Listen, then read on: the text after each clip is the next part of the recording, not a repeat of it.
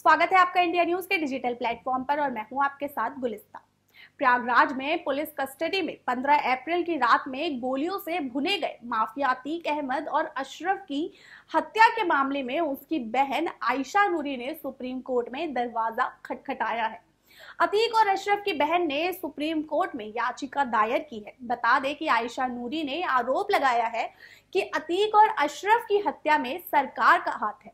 उन्होंने कथित तौर पर एक सेवानिवृत्त न्यायाधीश या एक स्वतंत्र एजेंसी की अध्यक्षता में व्यापक जाँच की मांग करते हुए सुप्रीम कोर्ट का रुख अपनाया है।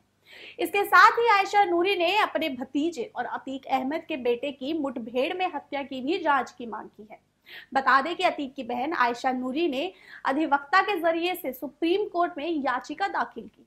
याचिका में आयशा नूरी ने अपने दोनों भाई के कत्ल को कस्टडी में और एक एक्स्ट्रा जुडिशियल किलिंग करार दिया। याचिका में कहा कि उच्च स्तरीय सरकारी एजेंटों में ज़रिए घटना की योजना बनाई गई। उन्होंने उसके परिवार के सदस्यों को मारने के लिए प्लान बनाया। पुलिस अफसरों को उत्तर प्रदेश सरकार का पूरा समर्थन मिला है। बता दें कि आरोप है कि प्रतिशोध के तहत उसके परिवार के सदस्यों को मारने, अपमानित करने, गिरफ़्तार करने और परेशान करने के लिए पुलिस अफसरों को पूरी छूट दी हुई थी।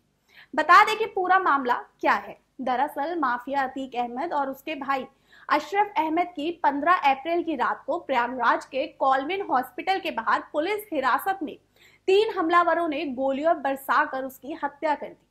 अतीक और अशरफ पर हमला करने वाले तीनों हमलावर मीडिया कर्मी बनकर वहाँ पहुँचे थे और हत्याकांड के तीनों आरोपियों को पुलिस ने घटनास्थल से ही पकड़ लिया था।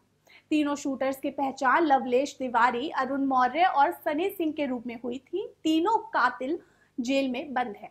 अब बता दें कि 24 फरवरी को प्रयागराज में उमेश पाल की हत्या के बाद से ही mafia Atiq Ahmed, gang UPSTF और पुलिस के निशाने पर था।